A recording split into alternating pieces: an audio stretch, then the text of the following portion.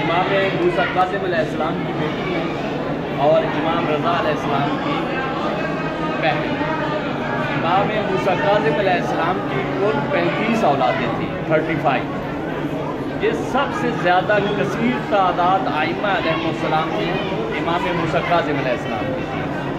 जिनमें मौला के अठारह बेटे थे और सत्रह बेटियाँ थीं। और सगे जो थे, इमाम रज़ा सलाम और बीवी मासूमा सलाम ये दो बहन भाई एक ही वालद और वालिदा से थे। तो कसीर तादाद के बावजूद, गुरबत का ये आलम था कि इमाम सलाम का कोई एक बच्चा भी जनाजे में शरीक न हो सका। और बीबी मासूमा सलाम एक सौ तिहत्तर हिजरी में इमाम सलाम पहले यहाँ तशरीफ़ ला चुके थे खुरासान में। एक साल के बाद बीबी मासूमा सलाम अपने भाई को मिलने के लिए मदीना से सफ़र किया और मुख्तलिफ़ मराहल से तय करते हुए यहाँ पहुँची। यहाँ एक इलाका है सावा। वहाँ पे बीबी का क्याम हुआ और बीबी के साथ भाई भी थे, चार। और कुछ कनीज़ें थीं। कुल सत्रह लोग बीबी मासूमा सलाम के साथ थे। और वहाँ सावा जब पहुँचते हैं तो बीबी पे हमला किया जाता है। बीबी के वो भाई और कनीज़ें और अफराद जो थे, वो वहाँ शहीद हो जाते हैं। बीबी तरहा रह गई थी। इसलिए इमाम जवाद अलैहिस्सलाम का कि मन ज़ारा अम्महू फ़लाहुल जन्ना, जिसने मेरी अम की ज़्यारत की उस पर जन्नत वाजिब है। किसी मासूम का या किसी मासूमा बीबी का ये नहीं हुआ कि मेरी ज़्यारत पे जन्नत वाजिब होगी। कायनात में दो शख्सियात हैं। एक इमाम रज़ा है और एक बीबी मासूमा सलाम बीबी मासूमा के बारे में है कि मेरी ज़्यारत के बदले जन्नत, फ़लाहुल जन्नत, जो मेरी ज़्यारत करेगा उस पर जन्नत वाजिब होगी। फिर क्या फरमाया? कि मेरी ज़्यारत का सवाब हज़रत ज़हरा सलाम की ज़्यारत का सवाब और हज़रत जैनब आलिया की ज़्यारत का सवाब। कुछ क्या क्यों? फरमाया, क्योंकि दोनों माँ बेटी की कब्र के बारे में मालूम नहीं है। मकामात हैं। मदीना में है, घर में है, कहाँ? इसी तरह बीबी जैनब का भी अकवाल है। मिस्र में है, शाम में है, मदीना में है। बीबी के बारे में मालूम है कि बीबी यहाँ कुम में मदफन है। तो बीबी की ज़्यारत का सवाब, दोनों माँ बेटी की ज़्यारत का सवाब है। फिर एक और जो मुहिम मसला है, ये जो हम ज़्यारत पढ़ते हैं, किसी खातून के लिए ज़्यारत नाजिल नहीं हुई। मनकूला ज़्यारत सिर्फ़ हज़रत मासूमा सलाम के बारे में कि ये ज़्यारत बीबी की फिर फरमाया कि बहिश्त का, लौला कुम्यून लसाखत अर्ज़। अगर मैं कुम को खल्क ना करता तो कायनात को खल्क ना करता। जिस तरह है, लो इबन अबी तालिब लमा अगर अली की मोहब्बत में पूरी कायनात इकट्ठी हो जाती तो दोजक को खल ही ना करता। तो इसी तरह बीबी का जो मकुम है, कुम का मैन है, यहाँ शैतान को बैठने की इजाज़त नहीं है। आलम इस्लाम में अगर तशैय का प्रचार हो रहा है मज़हब अहल बैत का प्रचार रहा रहा तो इस कुम से उलूम आल मोहम्मद की वो शमें रोशन हो रही हैं। तो कुम से ही पूरे आलम इस्लाम की रहनुमाई की जा रही है। फिर एक और जो है बीबी पाँच साल की एज में थी तो इमाम इस्लाम के पास कुछ अफराद आते हैं मदीना से सवाल अपने लेके।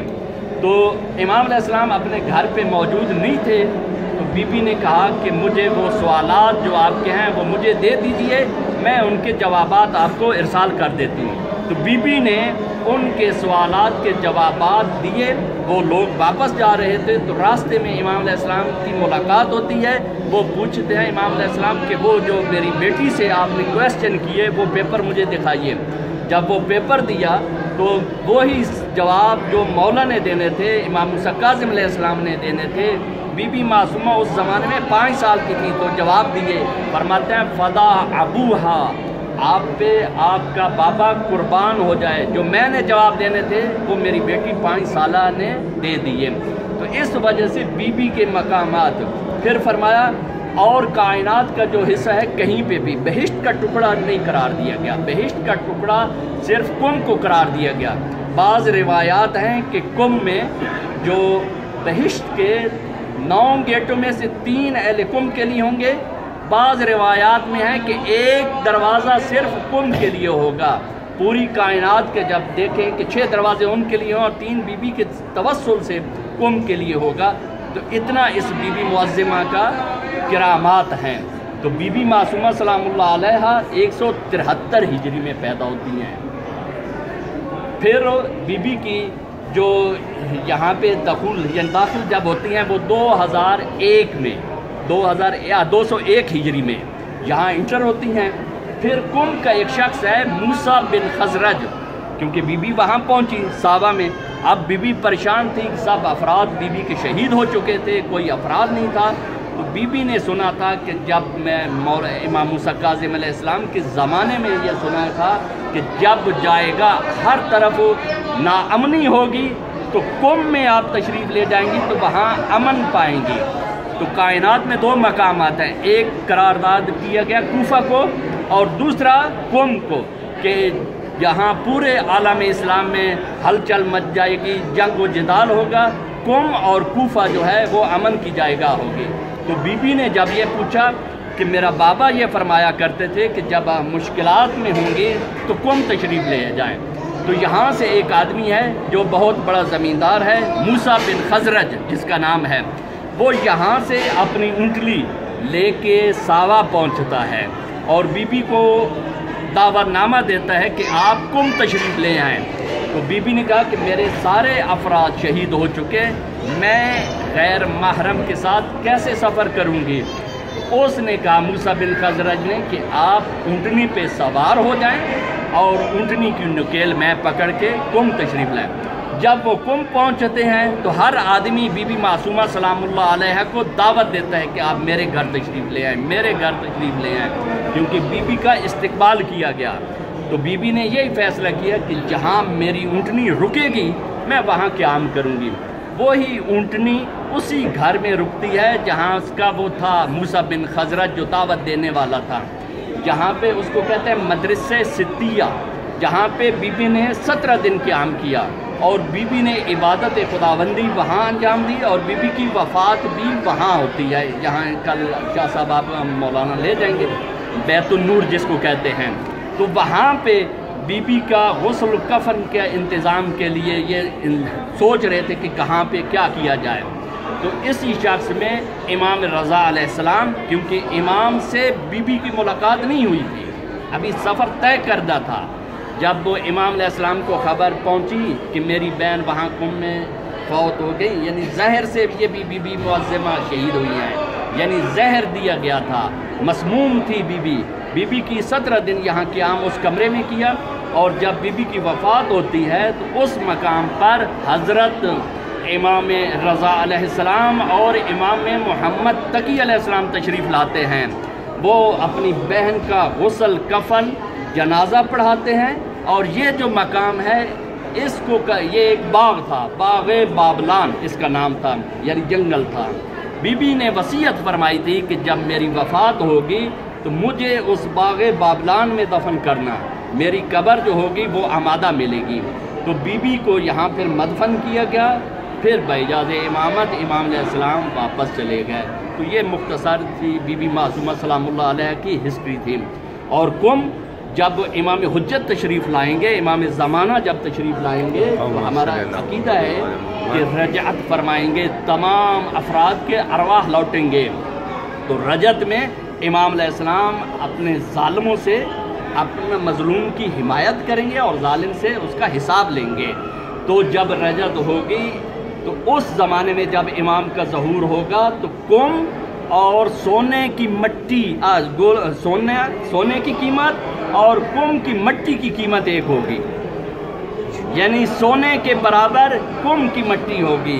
तो इसलिए कहा जाता है ना, कुम उलूम आल मोहम्मद का मरकज़ है। यानी बाहर आप यहाँ से इंटर होंगी तो वहाँ लिखोगा खून व क्याम का मरकज़ कुम यानी यहाँ से इनकलाब इस्लामी यहीं से फैला। आज देखे कि आलम इस्लाम में अगर दुनिया में तशैय का वजूद है तो वो इस ईरान से है। आज ये देखें कि आज पूरी दुनिया एक तरफ़ है, तनहा ईरान एक तरफ़ है। सिवाय क्या कि इमाम ज़माना इस मुल्क की मदद फरमा रहे हैं। आज देखें पूरी सुपर ताकतें एक साइड पे लगी हुई हैं और ईरान तनहा अकेला लड़ रहा है। इसकी मदद कोई कर तो रहा है ना? चालीस साल जिस मुल्क पर पाबंदियाँ हों और देखें कि किस तरह ये आज़ाद और अच्छी ज़िंदगी बसर करें तो ये इमाम की मदद शामिल हाल है। तो ऐतुल्ला खामना फरमाते कि अगर ईरान का वजूद बाकी है तो इस तशैय का मुल्क जो है, वो इसी वजह से इसकी बका है। अगर अली की आज़ान कहीं आलम इस्लाम में सुनाई देती है तो वो ईरान में तो हम सबको खुदाबंद मताल बार बार मोहम्मद वाल मोहम्मद की ज़्यारत से मुशरफ फरमाए। या अल्लाह, वास्ता अपनी इज़्ज़त व जलालत का, वासत मोहम्मद वाल मोहम्मद का, वासत जहरा की शिकस्ता पहलू का, वासत जैनब आलिया की लुटी हुई चादर का, वासत अब्बा ये जरी मुबारक है। बीबी फातिमा मसूमा को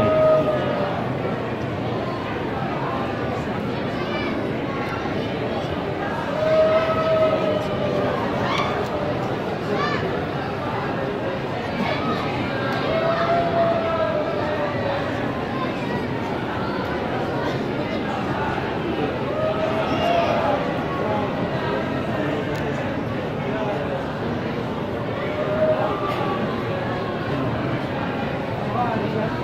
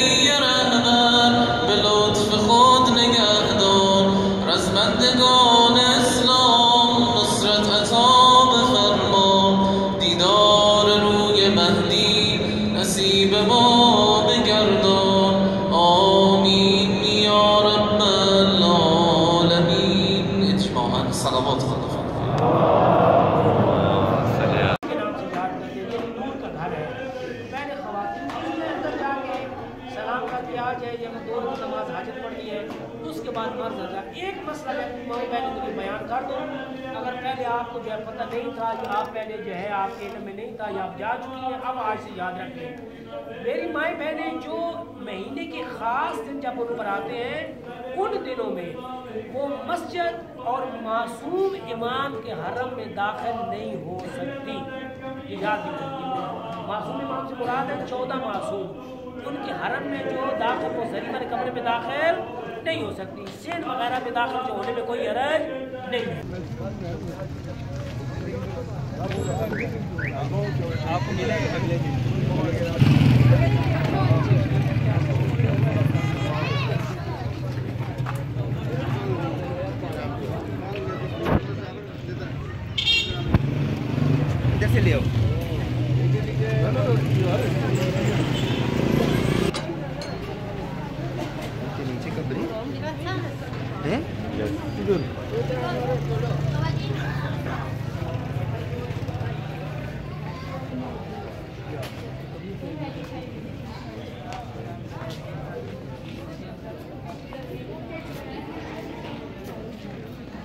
İyi gitmedi.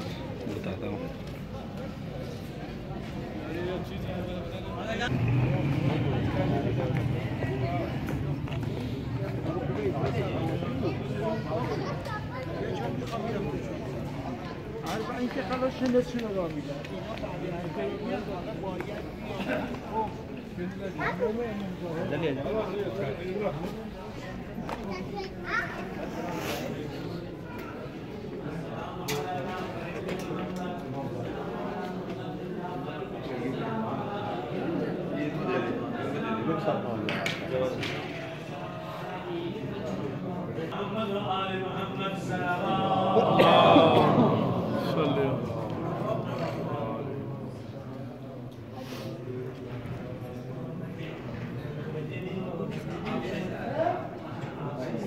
मोहम्मद तकी अलैहिस्सलाम के जो है सगे बेटे हैं इनका नाम है नाम मूस है। मुबरका जो है इनको क्यों कहते हैं? अरबी ज़बान में ये जो है जैसे हम बुरका ख़वातीन कहते हैं ना कि जब घर से बाहर निकलते थे तो चेहरे पर ये बुरका डाल के निकलते थे। अपने ज़माने के बहुत खूबसूरत वजी चेहरा और फिर कौम के लोग इस इंतज़ार में होते थे जब सैयद घर से बाहर निकलेगा तो हम इनकी ज़्यारत करेंगे चेहरे पर ये कुंभ में आए लेकिन कुंभ वालों के रवैये की वजह से नाराज़ होकर ये काशान चले गए थे। यहाँ से सौ किलोमीटर के फासले पर है। फिर बाद में जब कुंभ के जो है बड़े जिसे कहते हैं ना वडेरे उनको पता चला कि ऐसे इमाम के बेटे थे इस तरीके से गए हैं। ये सब कुंभ वाले फिर उनके पास गए और उनको राज़ी करके वहाँ से यहाँ पर वो लेकर आए। खुदा की ज़ात हम सब की ज़्यारत को अपनी बार चालीस ये साथ है। ये देखिए ना काफ़ी बड़ा खानदान है। जी हाँ ये जो है चालीस इमाम तकील इस्लाम के पोते पोती नवासियाँ। इसके अंदर चालीस कमरें बनी हुई हैं। ठीक है जी। यहाँ करके जैद उतर पाए जी पूरा खानदान आता था। पूरा खानदान आता था।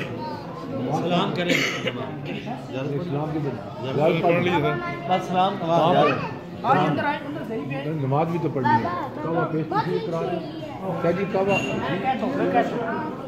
को आज नमक